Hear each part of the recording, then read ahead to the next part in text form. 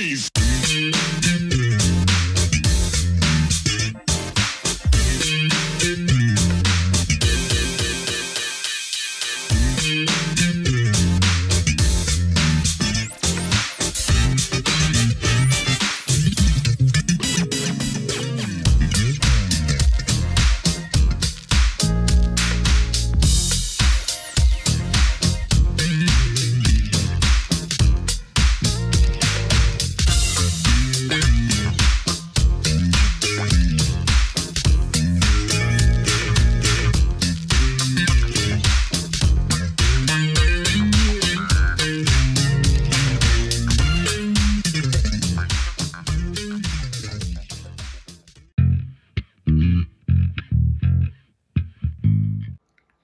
Funketeers. Bootsy here to bring the Truth in Rhythm family's attention to Funk Not Fight. Yeah, this is a call to action. We spread hope, not hate, uh, to gain satisfaction throughout our communities via the music uplifting unity. Uh, Peppermint Patty, tell us a little more. Syncer is our partner. Syncer Music, that is. So please check the link that's scrolling across the bottom, click it, and submit your music. Let's all funk, Funk, not not fight. Hello and welcome to another edition of Truth in Rhythm. Brought to you by FunkNStuff.net, this is the interview show that gets deep in the pocket with contemporary music's foremost masters of the groove. I am your host, Scott Dr. GX Goldfine, musicologist, creative arts journalist, and multimedia pro. Whether you're watching the video version of this show or the audio only podcast version, I thank you so much for your continued interest and support in this show. If you enjoy this programming, there are several ways to help support Truth in Rhythm, as well as contribute to further enhancements and expansion, plus get some sweet perks and rewards in the process. First, subscribe to the Funk and Stuff channel on YouTube, which is where Truth in Rhythm lives, and be an advocate by spreading the word among fellow funk, jazz, and R&B music lovers. Second, join Truth in Rhythm's new membership program through Patreon, which features three tiers for truth believers, truth seekers, and truth crusaders. You can also submit a direct donation to the cause anytime at funknstuff.net. At that site, which is loaded with awesome content, you can also purchase the book Everything's on the One, The First Guide of Funk. Shop for official Truth in Rhythm and Funk and Stuff merchandise, and use the Amazon links for all of your online purchases, which allocates a percentage to this show. Sponsorship opportunities are available as well. Contact me directly at scottg at funknstuff.net. For those of you who go the extra step in supporting the show, you have my heartfelt gratitude for allowing us to continue to shine the light on those special artists whose quest is to find truth in rhythm. I'm delighted to welcome to the Truth in Rhythm Mothership R&B singer and composer Meli'sa Morgan. Releasing her first six albums in 1986, she saw three of her first four LPs ascend to the R&B Top 40. Those records included eight top 20 R&B hits, among them the number one Prince Pen smash, "Do Me Baby," as well as "Do You Still Love Me?" "If You Can Do It, I Can Too," the Mother's finest classic, "Love Changes," and the Al Green remake, "Still in Love with You." Along the way, she collaborated with Paul Lawrence, Kashif, James J.T. Taylor, and Freddie Jackson. She has come out of the pandemic, the pandemic lull, I should say, swinging big time with her most successful track in some time. It's called Footprints of an Angel, and it marries mournful lyrics with an upbeat tempo, a catchy Motown informed melody, and an inspired vocal performance. Up for Grammy consideration is from the feature film of the same name, in which she also co stars. All right, Meli'sa, thank you for joining the show. How are you? Hi, hello, hello, hello. How are you feeling today? I'm feeling really, really good. Um, uh, as you can see, we, we're just chilling. You know, we're in South Carolina, and uh, just uh, we're getting ready to go to Charlotte for the day uh, on this weekend. So I'm excited. Well, the Carolinas, you know, I'm just north of Charlotte. Get out of here. Yeah. Oh, wow. Yeah, yeah. I've owned a place in uh, South Carolina for uh, over 20 years now. My family left it to me, and uh, we just renovated. And we come down here and we enjoy the weather and the, the good air. And I spent the whole pandemic down here. Yes. All right. Well, I've been out here since 06 from Los Angeles, so I love it. Uh, yeah, uh, yeah, it, it's really, I, I, think this is the best uh, fresh air we're going to get. yeah, well, hopefully that tropical storm's not going to do any harm coming up there. I, I hope not. Uh, we're, we're, like I said, we're going to North Carolina for the day. If it, if it does anything, we'll stay an extra day. Yeah. All right. Well, great. Well, I'm so glad you could join the show, and I know viewers are going to really appreciate it. So thank you very Thank much. Thank you.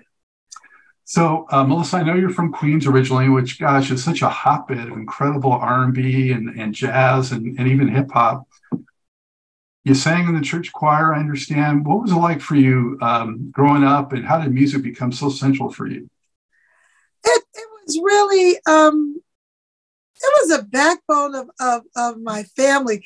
People, you know, in, in my whole family, they always went to music, you know, for happiness and and we they partied a lot. My my my parents, my aunts, my uncles, they did what they call a, round robin. They went from house to house every weekend, you know. So it would be at my aunt Lena's house one weekend, and at my auntie's house another weekend, or at our house another weekend. And and music was always something that that made people happy. I always see music break up fights. all kind of stuff. Music made people happy, and and my my mother, you know, she loved to sing and she loved to plant, and uh, we lived across the street from the church, uh, Mount Horeb uh, Baptist Church, and she would send us to church every Sunday, whether she went or not. And uh, the the whole uh, church community just got used to, you know, us being there, Sunday school and everything, and and then when it came time, you know, for me to uh, join a choir, uh, they just said, uh, you know, take Melise over there. My mother, she really didn't mind because uh, she just wanted to get me out of the house for the weekend. So rehearsals were good for her. But uh, music was always something that we did. Me and my sister, we sang Aretha Franklin, The Temptations, you know, all that stuff. We sang that at home all the time. Wow. And when did you think, wow, maybe I could make a career out of this? You know, how old were you? Um, I, I want to say I was about 14, about 14 or 15. And it was the, the choir that, that made me realize that because it wasn't a, a normal choir. The Starlets of Corona was a choir that was a community choir. So we didn't belong to one church. So we went around to different churches in the community and in Washington, D.C. and Philadelphia we went around singing at different churches and we were in um, uh, choir competitions and and all that stuff. So after the choir broke up when i was about like 14 years old i knew that i wanted to be a singer. Yeah. Yeah so you weren't nervous in front of people doing it? You felt natural Oh, I was I was totally nervous. The first time I, I sang, I started crying. I sang a song called I Must Tell Jesus, and I started like bawling because I was so nervous. But it turned out to be a showstopper because seeing a little nine-year-old girl singing I Must Tell Jesus and crying, it was like, oh Lord, she's got the spirit, you know. So you know it became a showstopper. And I, I, I would sing that song at the end and win some of the competitions that we were in because uh you know it, it, it was just an emotional thing. Yeah. Wow. And i understand you know uh, chaka khan was an influence and who isn't. I mean she's like my favorite of all time. Um, who else were some of your your big influences and heroes? Well i i, I have to say aretha you know, Aretha Franklin was the first. I think I, I sang an Aretha Franklin song first before I sang anyone. Um, then you go, you know, after that, we went to the Supremes because uh, uh, everybody wanted to do the steps, and you know, we all wanted to be a size uh, a zero zero like them. Because back then they was zero zero who knows what they are now with the booties and everything. But uh, back then, you wanted to be as small as you can. And we always admired the Supremes and Diana Ross. Mm-hmm. And what would you say was your sort of big break to get into a, a group that you know got some attention? You know, be, well before your solo stuff. Um, I would sing at the cellar with um, Johnny Kemp and uh, wonderful people like that, and and artists like the Isley Brothers and Patti LaBelle. They would come to the cellar when they were in New York and come and see us. Uh, so um, and they would tell people, you know, about us. So uh, I want to say my my biggest break was singing a song called uh, "Keep in Touch, Body to Body" because being with Johnny Kemp and being at the cellar, people would call us to to for sessions. They would call us to sing backgrounds on on uh, records and stuff like that. And a gentleman named Patrick Adams who had that big song "Push Push in the Bush." You know, I don't remember the group, but I remember the song. Um, he called us to do a session and we did this song called Body to Body, and the lead singer didn't show up. And um, he was like, Well, if one of you background singers can uh, do the song, you know, I'll pay you extra for the session $75. can you believe that? I can, every time I think about that is is crazy. But anyway, I, I was the one who could sing that high. And uh, I, I wound up singing a song called Body to Body the lead to it and it came out like a week or two later and went number one dance and that was like my biggest break before the solo career and was that uh, at shades of love or was that um, high fashion or? Shades of love. Shades of love was before high fashion yes. Um, yeah that's right. Yeah uh, high fashion i could talk a little bit about that. But anyway shades of love was before high fashion. I went out and and, and did it as the lead singer of Shades of Love because the group they wanted me to sing with, you know, it, it wasn't for me. The girls couldn't sing. They wanted a, you know, the look, but they couldn't sing. So so I left them and worked that. And then Petrus, yeah, Fred Petrus came to New York and took over the the recording scene. He he was hiring every background singer, every musician, every uh, um, studio singer, and he was putting them on records, and the records were were, were coming out and going number one and being famous. It was Change, and then uh, after Change, it was a, a gentleman named Timmy Allen who played bass uh, would change. And he told me, he said, you ought to, you know, think about uh, hiring Meli'sa Morgan and Allison Williams, you know, because they can sing. And Allison had already, she was already doing stuff with Petrus. And then I came in and he formed the group uh, High Fashion. Yeah, there's some heavyweights right there. I mean, Patrick and, um, and you know, the change situation. Uh, Timmy Allen's been on the show, so we talked quite a bit about Yes. I mean, he, he did so many things over the years with his bass playing. Incredible. Oh gosh, and a, a, great a great songwriter and and and a good person to be within the studio because he allows you to do your thing while he's monitoring. That's what I say. You're monitoring me, Timmy. He's like, yeah, yeah. he seems pretty easygoing, but he's, you know, I think um deceptively like dialed in, right? Yes, yes, yes. You know, and uh, uh, we we were just so proud of him. I think he's in in Philly now. We were so proud of him when he did the Joe song and everything, and and uh, I used to, um, I still love her, uh, a gospel singer named uh, Vanessa Bell Armstrong. And he got to do a, a, session with her and he called me immediately, but I was out of town. I was like, oh my God, I'm going to miss the session with Vanessa Bell Armstrong.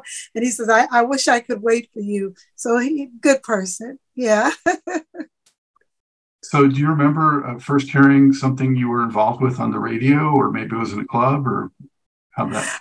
Oh, uh, well, I think body to body. Yeah, I mean, I heard some of the background stuff, but uh, body to body was uh, uh, one of the biggest, and and I was actually working at Chase Manhattan Bank.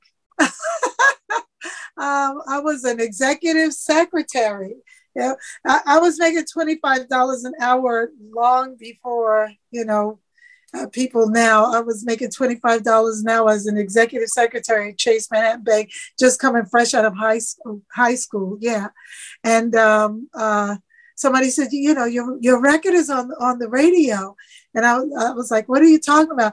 And and it was the um, Don, Don Hamilton, who did the session with me, he had heard it and he called me. He said, Your record is on the radio. And I was like, What are you talking about? My record? He's like, The Shades of Love record is on the radio. So I was running around Chase Manhattan trying to find somebody who had a, a, a radio.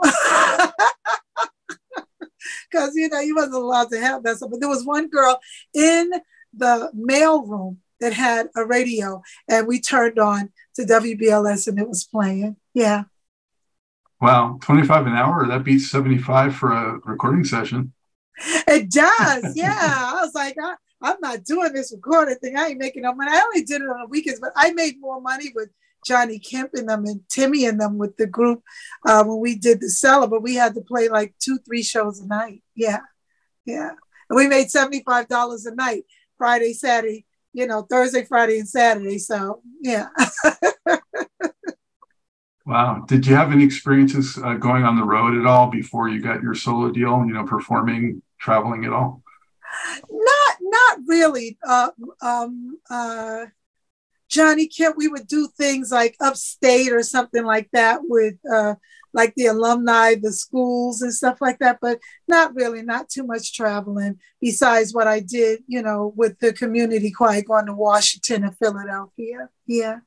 And did, did Johnny have his big hit at that point yet, or that was still to come? No, no, we were all we were all musicians in in New York. You know, coming up, we had we had it was a Johnny Kemp band, and we played the cellar and um, uh, we played McHale's and Under the Stairs and all that stuff. And and Timmy was in the group, and Johnny and and myself, and it, it was a wonderful time. Uh, uh, who else was the, the guitar player too? Oh, I'll think of his name in a minute. It'll come to me. Yeah, he passed away. Oh, Mike Campbell on guitar. Yeah, just all those wonderful musicians. Yeah.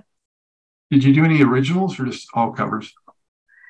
Um, we did originals uh, then, you know, later on, uh, like I said, Timmy wrote stuff for me, but uh, during that time we were doing uh, covers. Yeah.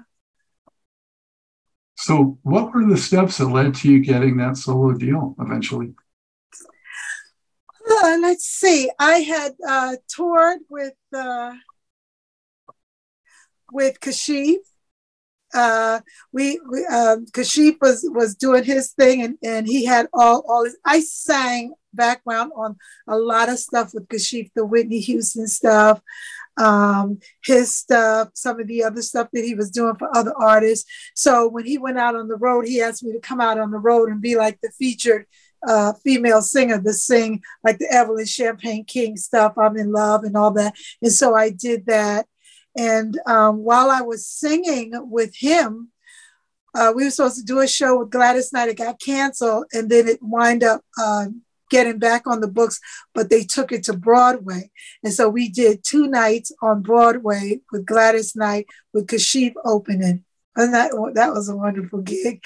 And at that time, he had uh, the management company, Hush Productions, that was um, Melba Moore's um, ex-husband and Melba Moore running the company, and they had signed Freddie Jackson, they had signed Lillo, they had Kashif, and they had some some other artists. And um, uh, the first night, no, it was the second night. The second night that we opened for Gladys, we were all backstage and, you know, just chilling and happy about, oh, wow, we opened for Gladys on Broadway. Um, uh, Charles Huggins came up to me and he said, uh, well, you sang behind Chaka, you sang with Kashif, you sang on, on everyone's session.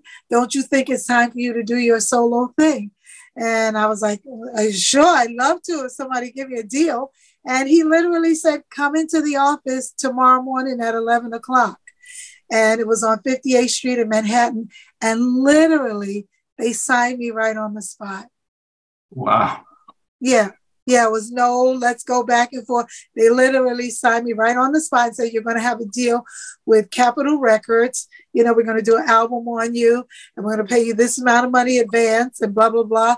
Are you ready to go? Because we're ready to get started like within the next two weeks. And I was like, Sure. You know, and, and I had a, a lawyer named Kendall Mentor. I don't even think we, you know, I don't even think we did no real negotiation with that. Kendall was like, get in the business, get your feet wet. Let's go. Let's just do it. And anything that comes up, we'll fix it later. yeah, see to your pants. Yeah. yeah. so, and that was like around 1985. Yeah, that was uh that was probably like 84 because it took us uh it took us about a, a year to do the album. Took us about a year, give or take. So I want to say either early, like February 84 or late, eight, no, I'm sorry, February 85 or late 84. Because by, um, gosh, by October, September, October, we had the first single. Yeah. Yeah. Now, did you always have uh, visions and aspirations of being a solo act, or did you think you would mostly be more of a, you know, a background singer, or, or what? Well, once once I started, you know, doing the stuff with Johnny Kemp and the Shockers started calling me and doing the stuff with Kashif, it, it became more clear that you, you you just can't stay in the background. Yeah, because people are seeing you as a forefront you know? So it, it became clearer to me that that i would have to go to the next level. Yeah and uh, you also did other things at least you're credited for other musical things you know of your career whether it's arranging or you know certainly songwriting and even a little mm-hmm. keyboard here or there um, how how did you pick those things up well, I, I don't really play keyboards. You know, no, uh, uh, no I, I don't really play. This is the instrument, even though I understand all instruments. But what happened is it uh, uh, during during during that time, like right after. Um, I want to say right after Do Me Baby and stuff came out, I, I went I went back to um, I went to Lee Strasberg School to learn how to get over my fears. But before that, I went to Juilliard. I went to Juilliard and studied music theory because I wanted to learn chordal structure and how notes and stuff worked with musical instruments because we were singing things that we knew, oh, well, this go with this, and you know, sing this and that's right. And it was like, but why is it right? You know, so I went to Juilliard and studied music theory to learn why it's right, why this one third goes with that third and this chord doesn't go with that chord you know and there's only you know 12 notes in in the whole music you know uh, uh, uh, uh um, life you know i'm saying that there's nothing else you know and yeah. it's like well there's there's nothing else besides these two nope and you have to make all of these work that's it and it's just a variation of these notes and these chords and nothing else works yeah yeah um, well, credit to you for going back and, and doing that. Yeah, thank you. you. uh, now, Kashif, um, what can you tell us uh, about him in terms of what was he like as just a person, and what, what about his talent? Oh my God, Kashif was was was was a fun person to be around because he always wanted to share the knowledge. He was there. There are some people that you're around that they they they know what they're doing, but they don't want you to know what they're doing. He was never ever like that. He always wanted you to know, hey, Meli'sa, come check out this new, you know, this new keyboard I got, this Synclavier. Let me show you what it does. You know, and it does this, and I'm gonna put your voice in there, and then you know, you'll understand what it is. Hey, Meli'sa, that note sounds good, but you know what? We probably need about 16 more, more notes in here. This is what we're going to do. Come in here. Let me show you what we're going to do. We're going to put 16 different voices of you on this, and then we're going to put them all together. He, he was just like that. He was a wonderful person to be around. He always wanted to share his wealth and he always wanted to share his knowledge, and I appreciated him for that. Um, and of course his you know success speaks for itself yes um, what was it that uh, one or two things maybe that you picked up or learned from doing the background stuff with some of the you know great singers you mentioned that you were able to kind of bring into your own solo career oh that that's an interesting question. Um um sing well i i know singing background you have to be um in unison with yourself and and that's one of the things i learned in, in, in, a lot of my records. Because of that i don't have a lot of background singers on my record. I did most of the background stuff myself because i learned how to be in unison and in sync with myself. And, and that's really hard to do sometimes with other people. That's why the the sweet inspirations and the jones girls and stuff like that once you get that that chemistry you you don't want to let it go. Um, in, in in and rightfully so. But in the later years, with Kashif and people like that, I learned how to sing with myself and not need you know other people so um, that that was that was one of the lessons i learned but bringing it to to my my lead stuff hmm i just want to say that a lot of times when i sang uh, background and stuff I would do like little inflictions and affectations that are in my voice, and people would say, Don't do that. Don't do that. That's what a lead singer does. Don't do that. You know, sing it straight, sing it straight. And, and, and I would always be like, Why you have to sing it so straight? Sing it straight. Don't do it like that, you know, because then you're not going to be in harmony with the other people. So I just think, you know, me wanted to to fly and not sing things so straight. That helped me. Yeah. Yeah, in the background, you got to dumb it down a little bit, I guess. Yeah. Or, yeah. uh, what was the experience like when you got in the studio and, and, worked on that first album? I mean, what do you remember about those sessions? Oh gosh, well, um, there's uh, two things. Two things I remember. Um, I remember because I had went out on the road with Lesette and, and we had toured with Chaka Khan when we left Chaka Khan, we decided, well, hey, if something happened, you know, it's like, because she had did Funkin' for Jamaica with Tom uh, Browne and all of that. So, so me and Lesette Wilson was on the road with Chaka Khan. I sang background and Lesette Wilson was the musical director for Chaka Khan.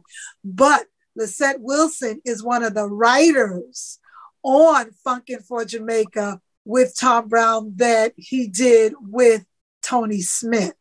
So when me and Lesette left Chaka, you know, because Chaka went on and, you know, we're like, okay, what are we going to do? we're no longer, she's no longer musical director with Chaka and I'm no longer singing background. It was like, well, when I, if I get a record deal, you know what I'm saying? Then I'll make sure that I'll come back to you and we start writing songs together for that. And so that's what we did.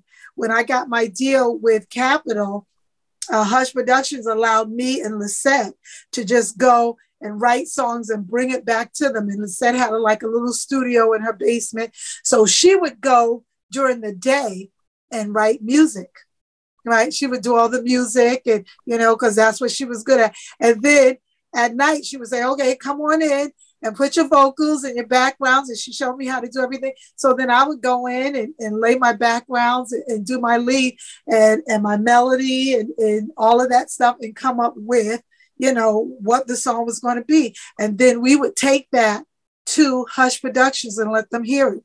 And that's that's the process that we did for Do Me Baby. And they picked the songs that they liked. And, and, how did you decide upon that title track? You know, um, giving that female perspective to that Prince classic. Oh, now that I had nothing to do with.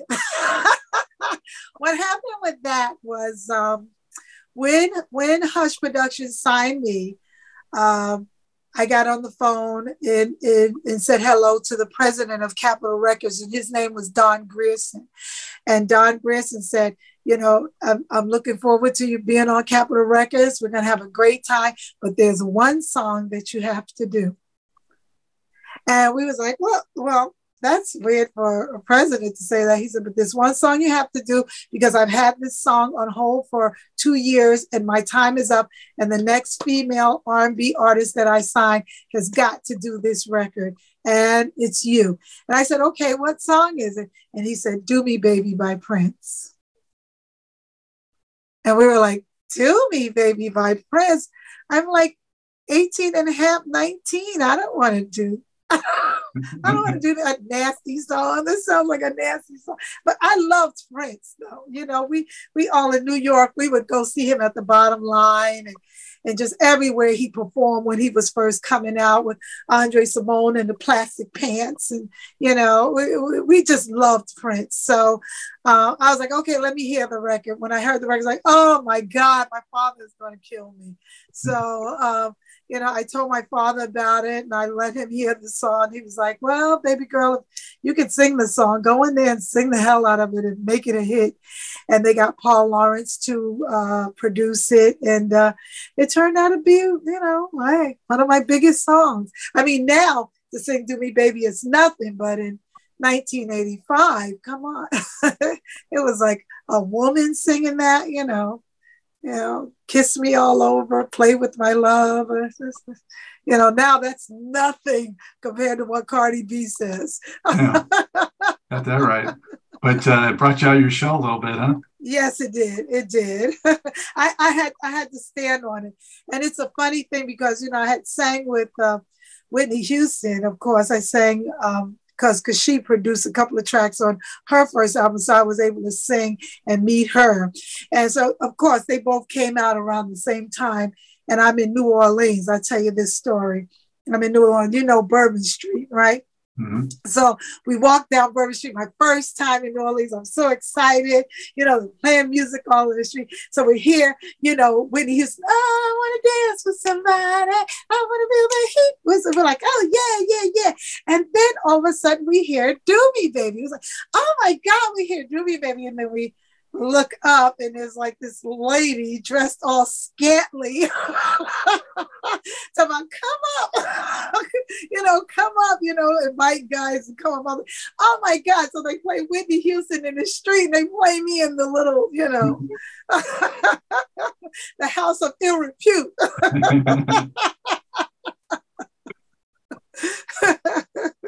well, so, you know well, from my standpoint, though, you know, I was always a Prince fan from the very beginning. Uh, but with a song like "Do Me Baby," it was like I appreciate it for what it was. It's a good song. But it was only so deep I could get into it from a male perspective. Yeah. so for me, it was nice to hear a female sing it. Yeah, yeah. Everyone, well, it, it stayed number one for like four weeks. So everyone really enjoyed that uh, perspective that I gave to it. And with Paul Lawrence production, it was it, it really turned out really good. It's a song that I love doing, and um, to this day, when I do it, I don't even have to sing it. You know, the audience just sings it for me. It's a wonderful thing. Hmm. And did you ever meet Prince? Oh, several times. Actually, I met him, you know, I, I seen him like a month before he passed away. Yeah, because he was uh, producing um, the group, uh, well, the musicians that, it, that went on the road with him. He had an album coming out with them, and they invited me, you know, to the showcase to hear, you know, the album. And um, I spoke to him. He was actually there with uh, Tamron Hall uh, the young lady uh, from the uh, talk show. He was there with her, and we talked for a minute. And I told him I wanted to come and see him live because I hadn't seen him, you know, perform live in, in a long time. And he said, "We're gonna make that happen, Meli'sa." And you know, then a month later, he passed away. Yeah, I know he was notoriously critical of versions of his songs. Did he ever like give you any feedback?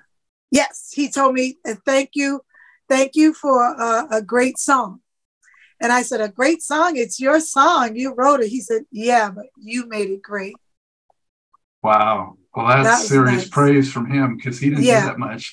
He didn't, and he he would he would take me out on the road. He would take Chaka and everybody else. He would take me out on the road. He said, you know, maybe I'm too much competition.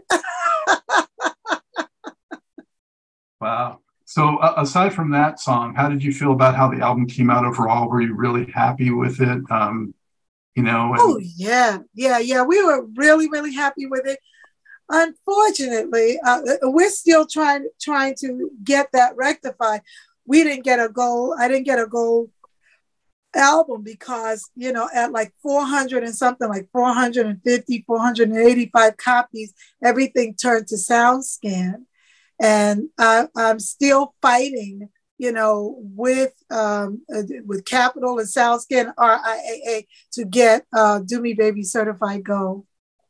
Wow, yeah. well, man, talk about overdue. Yeah, uh, yeah, wow. way, yeah. Well, that had four singles on it, so that's you know a lot. The yeah. record company was definitely supporting you nicely on that one. Um, one track that wasn't a single though was "Lies," which I thought was a real nice dance, dance track.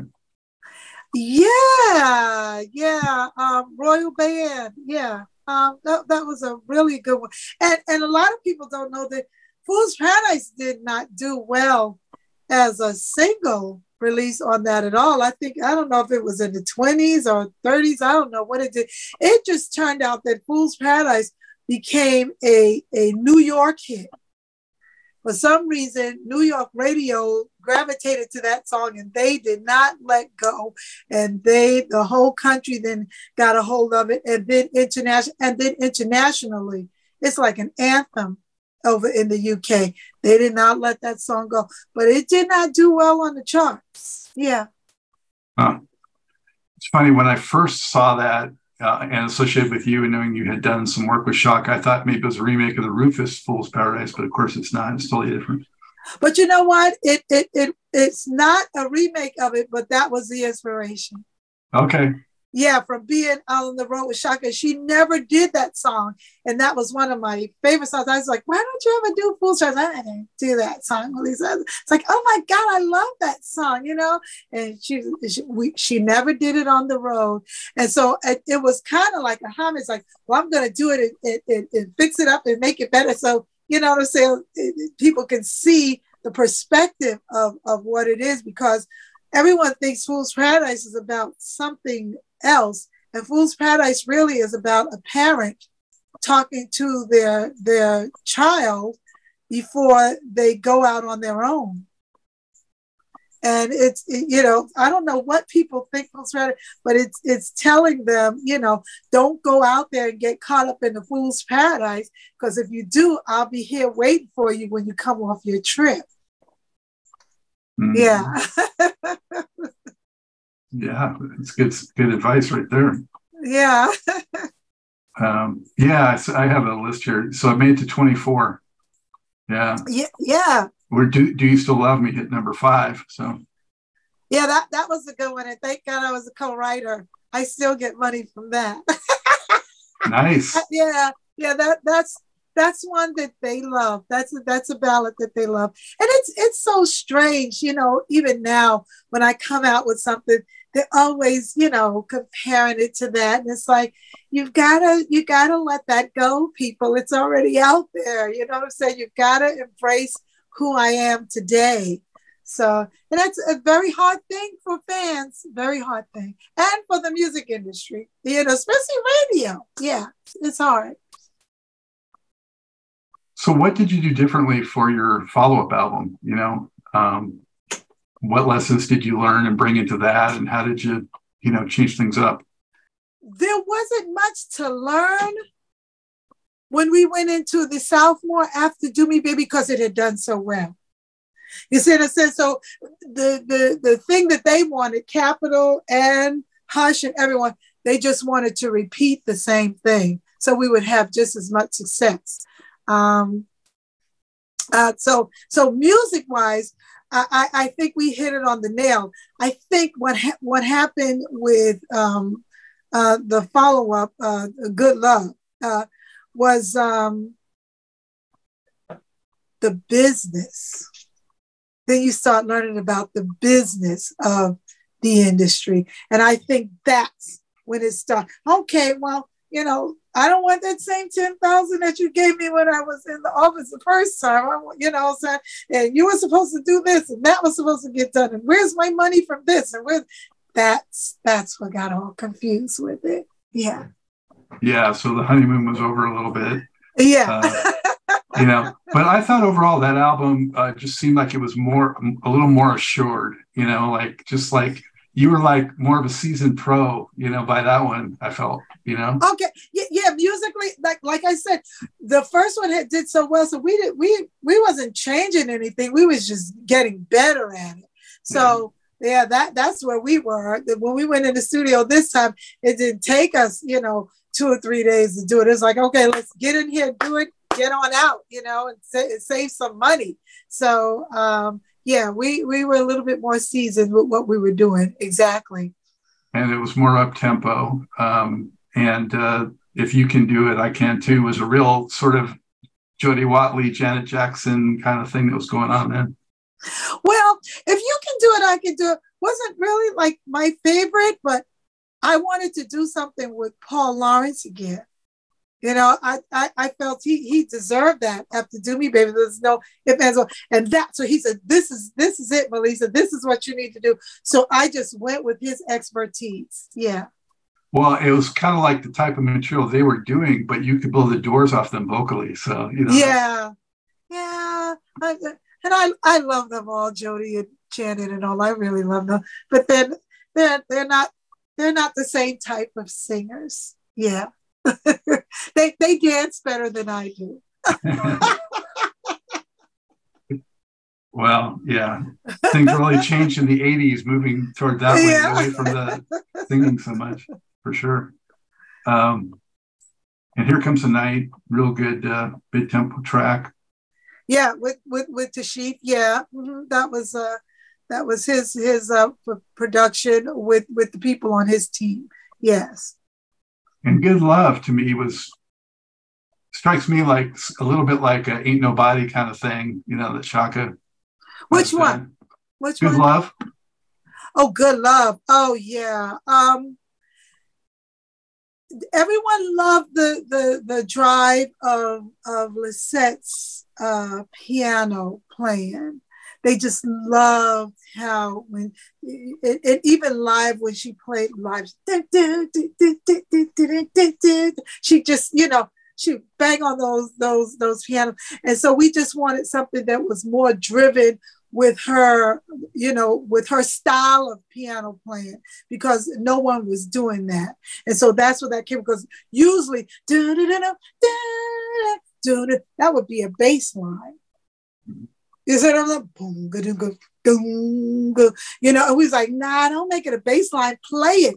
Because she, she played so hard, you know what I'm saying? It's so so precise. It was like play it, and when she played, it was like that's what we're talking about. Yeah. What were your shows like at that time? Awesome. We went out with Freddie. We went out with uh, Billy Ocean. Uh, when Keith Sweat came on the scene, you know, he had to get Meli'sa Morgan, you know, uh, uh, Levert. It was it was wonderful. Now, I do want to say a lot a lot of females wouldn't let me open for them. No females, no like Gladys Knight, like Aretha, and still to this day they don't. Patti LaBelle.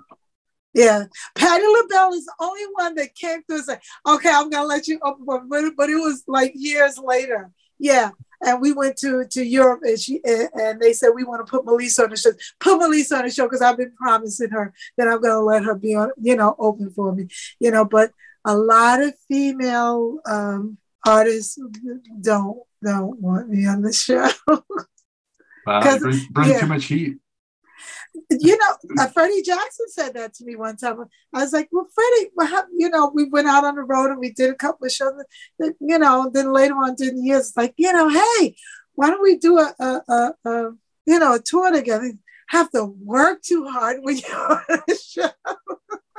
Have to work too hard after you open. So uh, I don't know. Yeah. But I, I'm never going to stop doing what I do. So it is what it is. Yeah. There's much more to this great Truth in Rhythm interview. Just continue on to the next part of the episode. Also, be sure to subscribe to this channel. If you've already done so, please share it with friends. And become a member by joining Truth in Rhythm on Patreon or consider donating at funknstuff.net. Thank you very much.